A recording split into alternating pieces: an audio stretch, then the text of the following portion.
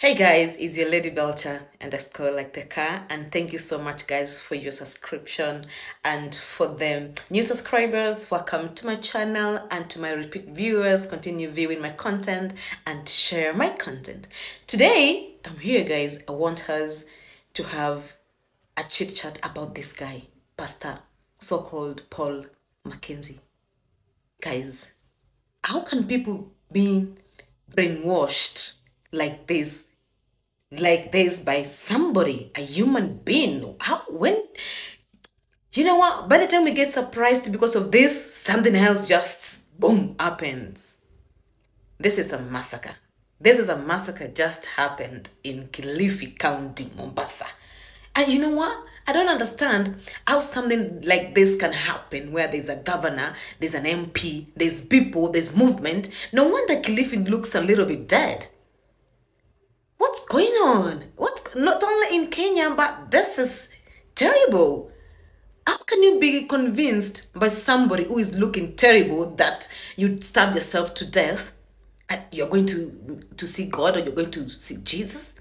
When did we stop believing in God and start believing people? When did we stop, you know, having a little faith and start listening to what people are brainwashing us with? Guys, you need to be careful. I can't believe a human being can be this cruel. This is so barbaric. This is a human being, somebody with blood, committing a massacre, killing more than 90 plus people. I know what? This guy is not just alone. There is a lot of people involved in this case, in this massacre of Kilifi County. This pastor need to be tortured slowly by slowly until he mentioned he mentions one each and every person involved in this massacre. But this guy is not alone. There's a lot of people involved in this massacre. You know poverty is such a terrible thing. Because everybody who has lost their life there is believing that i'm coming out of poverty and living a better life. But how can you be convinced by somebody who is looking poor himself What's what's wrong with people? Anyway, we might say he uses some voodoos or maybe some ritual stuff to make you look like a zombie. You don't understand yourself, you know, like you're just there. But tell me, how will you stay somewhere where there's 10, 4, 5, 15, 20 people who are starving to death and you're just sitting there waiting yourself to die? You cannot run? No way. I think these people, there was something different, not just being starved to death. There was something different in these people that are not just being starved to death. I just think Kenya, we need to do what uh, the president of uh, Rwanda did. You know, this guy closed over six 6,000 churches and mosques. And he ended up demanding a theology degree from each and every leader who is calling themselves a pastor, who is calling themselves a preacher, who is calling themselves a prophet, all those people. And I think we need to do this. You just see people around town, you know, in the bus stations there having a Bible and talking things that you don't even understand what these people talking about. As much as I understand, cleanness is next to godliness. These people who are all over the country preaching, if you look some of them, you will be surprised. You're a man of, you're a child of God. God loves us. You understand? Sometimes we do mistakes that put us as a human being in some situation, in some poverty type of situation to a point of you end up losing yourself and being manipulated and gaslighted by these so-called pastors and prophets and preachers and that kind of stuff. We need to get, we need to raise our eyebrows and get out of this. I am not perfect. But trust me, I will not stay with someone who's talking about, I'm going to throw you in the balcony.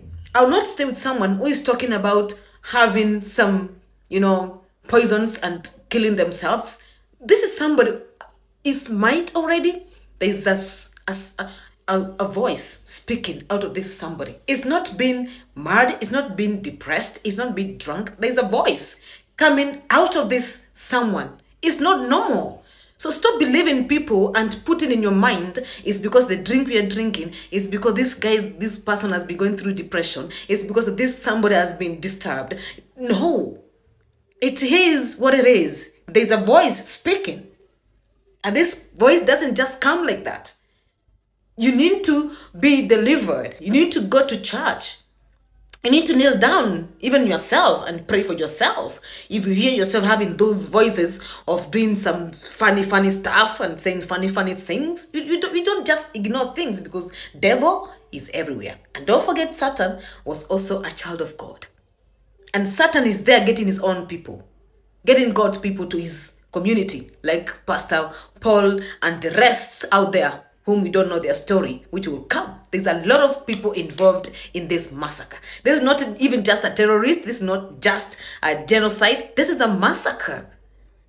We need to get serious into this because this is not something just to take it literally. This is something terrible. And it's happening and there's a lot of people. This guy has followers like nonsense. I just think Kenya, we need to do what uh, the president of uh, Rwanda did you know, this guy closed over six 6,000 churches and mosques. And he ended up demanding a theology degree from each and every leader who is calling themselves a pastor, who is calling themselves a preacher, who is calling themselves a prophet, all those people. And I think we need to do this. You just see people around town, you know, in the bus stations there, having a Bible and talking things that you don't even understand what these people talking about as much as I understand, cleanness is next to godliness. These people who are all over the country preaching, if you look some of them, you will be surprised. You're a man of you're a child of God. God loves us. You understand? Sometimes we do mistakes that put us as a human being in some situation, in some poverty type of situation to a point of you end up losing yourself and being manipulated and gaslighted by these so-called pastors and prophets and preachers and that kind of stuff.